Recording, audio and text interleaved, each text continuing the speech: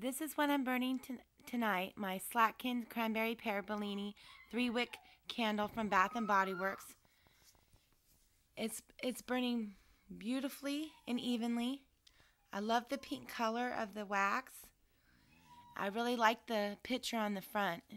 And I definitely really like this scent. It's a very warm, fruity color, um, kind of scent. I really like it. Um, you, Little Balladeer here on YouTube is always talking about this one. So when I went to buy a bunch of candles, I decided to try this one. And I definitely like it. I love fruity scents, and this is definitely a nice fruity one. It's not as super strong as some of the candles I've been burning lately, but I like it anyway. And it's definitely burning nicely, much better than the small candles. And I can smell it around my living room. It's just not super strong.